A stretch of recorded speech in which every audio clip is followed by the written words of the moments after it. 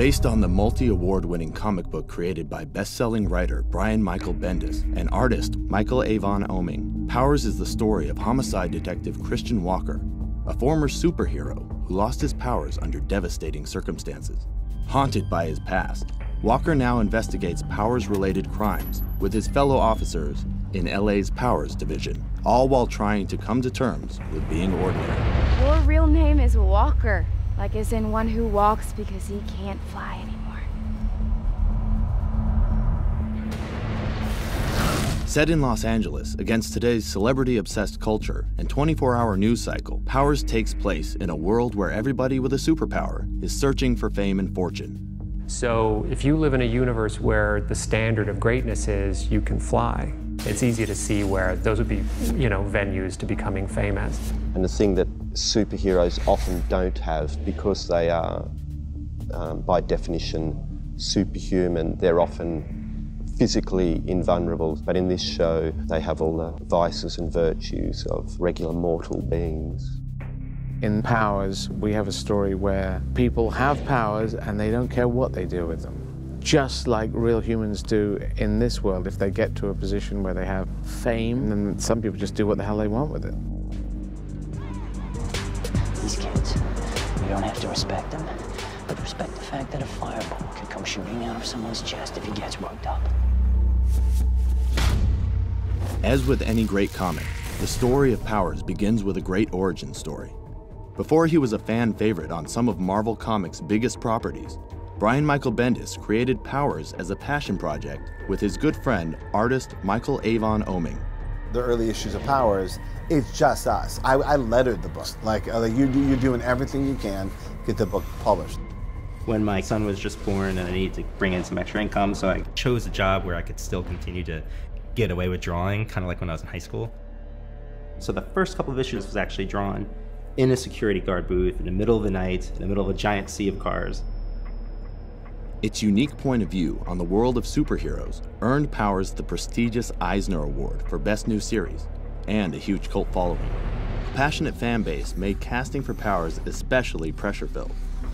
But the show's creators weren't focused on matching the look of the comic book characters. It was always about the acting choices first and the visuals second. This was about the characters from the inside out, not from the outside in.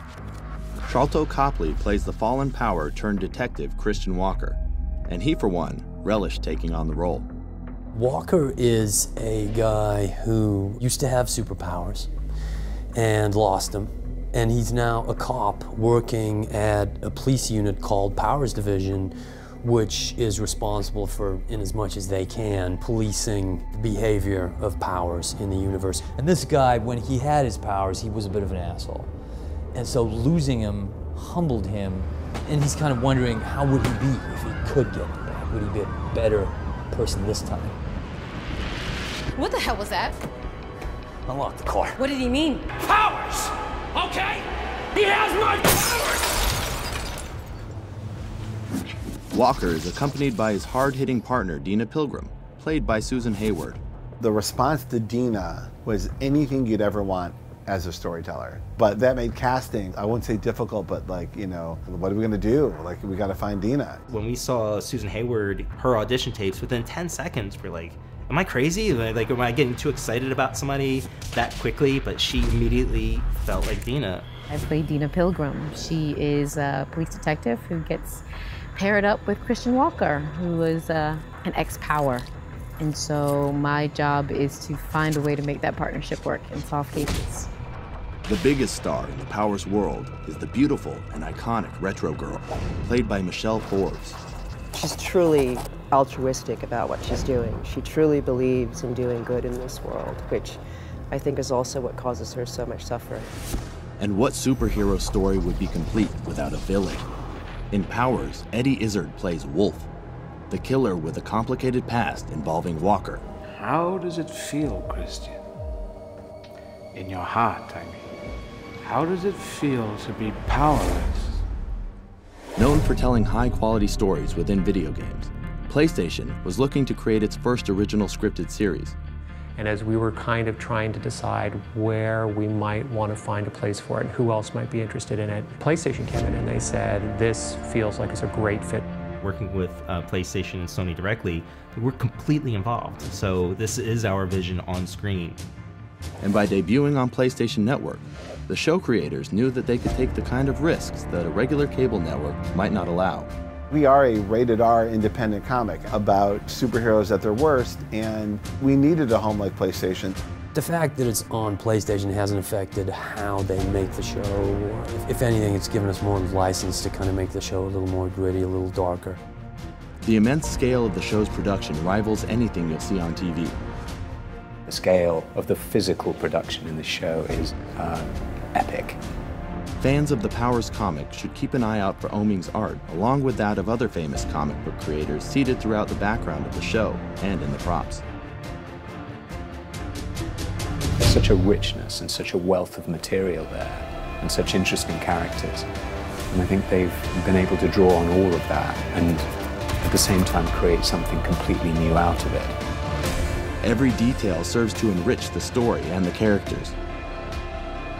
In this world, not everyone has power, or even wants it, but everyone is affected by it. When I originally pitched the show, I told people exactly where this thing was going, so I can I can close my eyes, I can see very clearly, you know, who's left standing.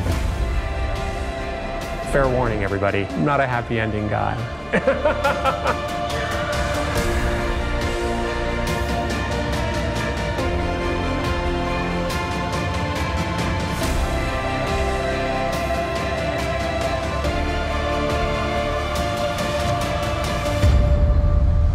Tune in for the series premiere on March 10th and stream new episodes Tuesdays on PlayStation Store.